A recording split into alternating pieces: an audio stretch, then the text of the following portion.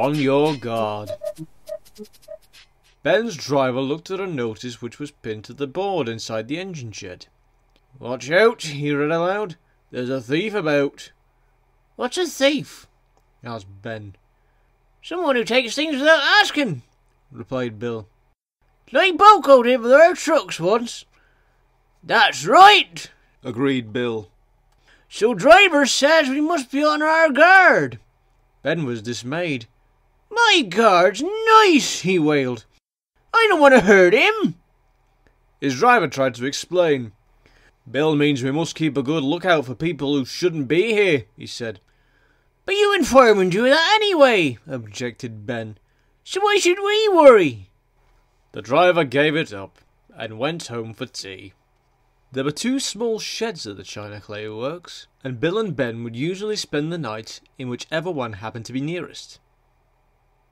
The sheds stood next to each other and were connected by a short passage. One night, after a day spent working in the dispatch sidings, Bill went to the main shed. Ben, who had been up at the clay pits, came back late and went to the other. The drivers put out their fires, cleaned them, and went home. Ben woke during the night feeling lonely. He wondered for a moment what had wakened him. Then he heard a door close softly. Driver must have came back for something, he thought. He was preparing to go back to sleep again when he heard the sound of a nearby footstep. Opening his eyes, he could just make out a dark figure coming towards him. Who's there?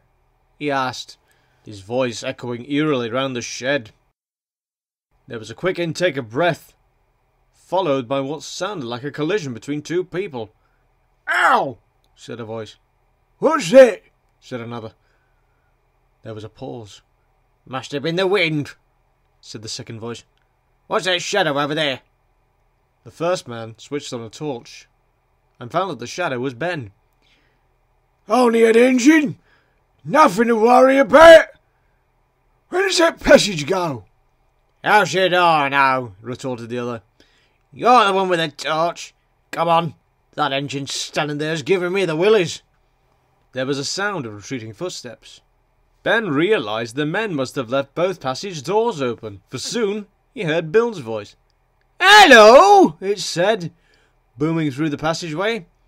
Immediately, there was a shout and a clatter. Feet ran back along the passage and back into Ben's shed. Boo! said Ben playfully.